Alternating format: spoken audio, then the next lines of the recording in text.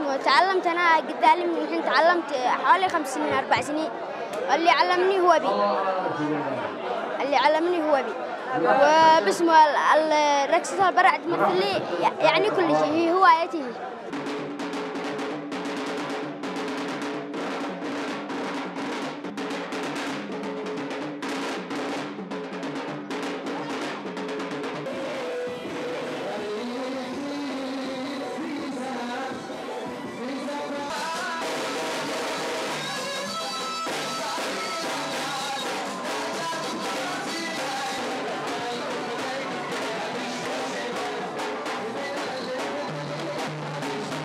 بعض الناس يقول لك يدخل لها مهنة ولا يقول لك أنا مانيش قادر على هذا الشيء آه، كبير ولا شيء لا لما تدخل حاجة من قلبك أي حاجة تشتغلها.